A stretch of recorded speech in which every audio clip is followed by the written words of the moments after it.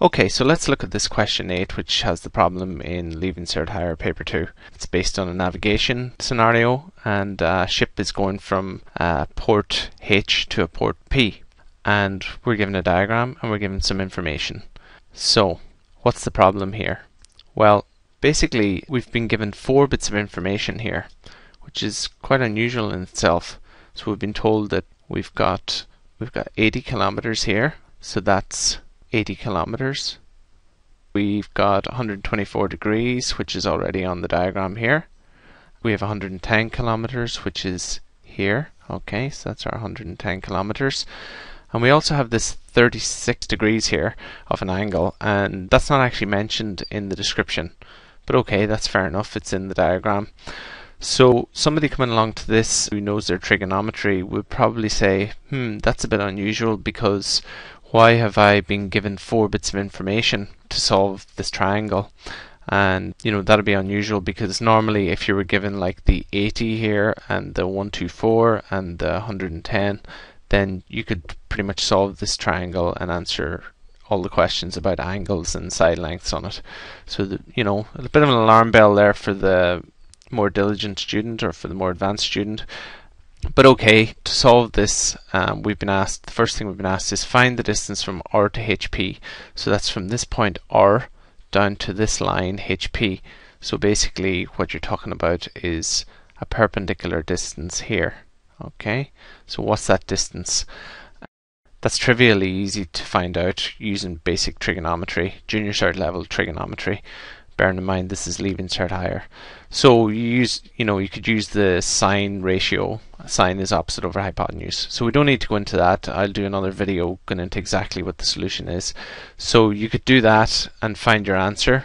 You could also, you know, if there was that little doubt in your mind, you might say to yourself, okay, I'm going to double check this. I'm going to use a second method to find this out. And you might say, well, there's 36 degrees there 124 degrees there, so that's 130, 160. So that leaves me with 20 degrees here for this angle. Okay, and then what you could do is you could use the sine ratio again and figure it out independently. And what you would actually find is that you get two different answers, roughly 47 kilometers one way if you calculate it, and 37 kilometers if you calculate it the other way. So at this stage, if you're in your exam, you would be quite perturbed at this stage because you should find the same answer regardless of which method because they're both valid methods. So you probably would start double checking and yeah, a bit of a worry. Now, if you were a less diligent student, you probably would just use one method, find your answer, give your answer and you know carry on and then go on to the next parts and continue based on based on what you've found out already, and it mightn't even cause you any problems. So it's a bit ironic that the be- the more you know about maths, the more problems that this um, triangle will cause you. So let's do a really rough sketch of what we've been given here. So we have this side and this side and something like that. So this is H, this is P over here, and this is R. Okay, and we just put in the dimensions that we've been given. So we've been told 80, we've been told 110, um, 124 degrees, and 36 degrees. Okay, so actually, you know, that would imply that this is 20 degrees down here as well, by the way. That's pretty easy to figure out, okay? Now this side is not necessarily that easy to figure out. You know, you can't do it just by looking at it. So let's have a look at this because certain combinations of side lengths and angles are possible and certain combinations are not possible. So let's have a look at that. But first of all, I'd just like to say if you tried to um, sketch this out using a scale diagram, so say you said 80 kilometers, let's make that 80 millimeters, 110 kilometers, let's make that 110 millimeters. You know, use your protractor and put in 36 degrees and 124 degrees here, then you just won't get a triangle it's impossible to make a triangle with these dimensions. We're just going to use a little online triangle solver to show that as well. So you can actually check this out for, for, yourself if you go to this link. Basically what I'm going to do is I'm going to put in some of these dimensions. So let's just take the ones that were in the description. So we say a side of 80, okay, and an angle of 124.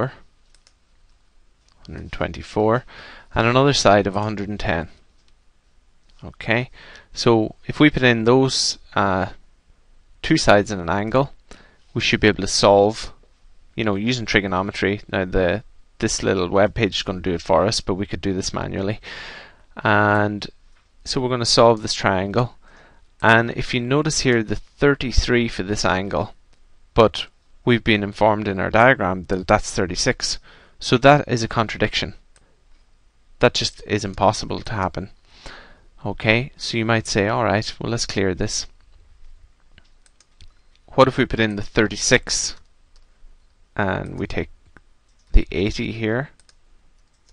And we put in say the 124 angle here. Okay so yeah that's fair enough. If we compute that it turns out this side has to be 140 if these three dimensions here are 36 80 and 124 so you can see from this that um, the scenario that we actually have here is just not possible.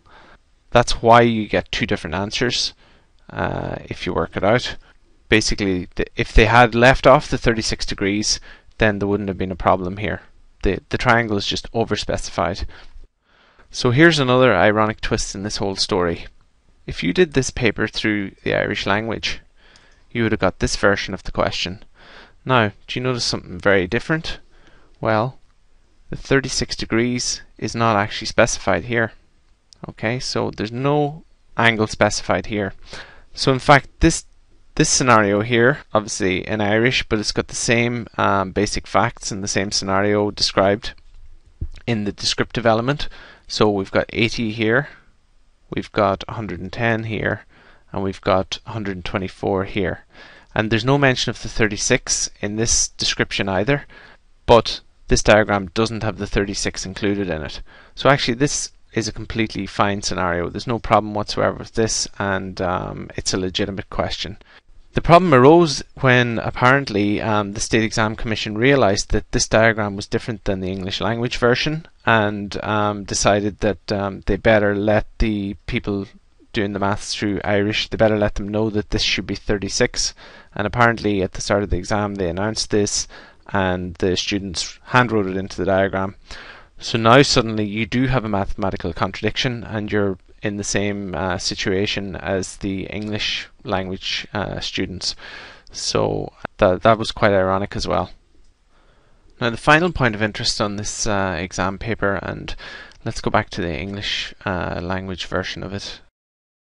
I'm just going to clear this actually. So yeah, the other uh, issue here was that um, the description says that um, okay, we've got a port P. Sorry, port P is directly east of the port H Okay, so there's P and there's H. Now, to sail from H to P, a ship first sails 80k in the direction shown in the diagram.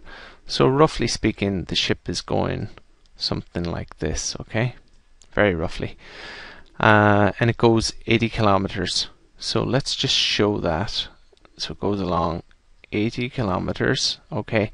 And then it says it turns through an angle of 124 degrees. Okay, so imagine your ship is pointing this way and you decide to turn the ship through 124 degrees. That's more than a right angle turn, isn't it? It's more than 90 degrees, so it's it's actually you're turning the ship pretty much this direction, okay? Okay, might be slightly off there, but it's it's turning at more than 90 degrees. It's more than a right angle turn. So then you go 110 kilometers, so slightly longer than the previous one. So you end up down here.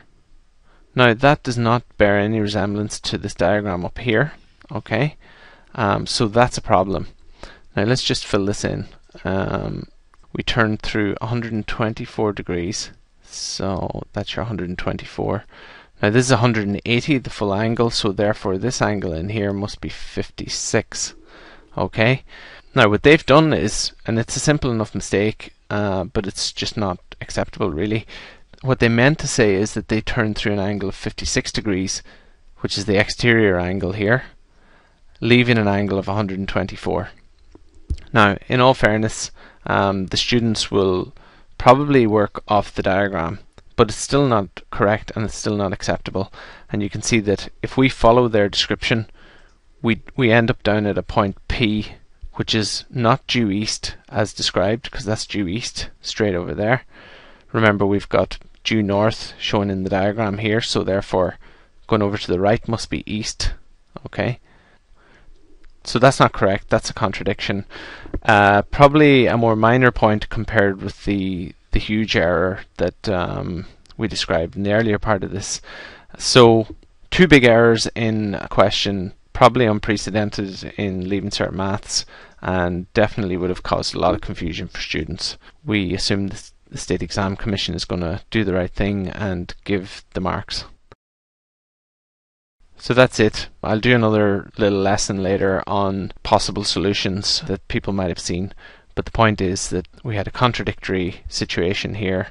It was mathematically inconsistent. It was not possible to give a definitive answer to the questions that people were presented with. So hope that helps people understand what the overall issue was.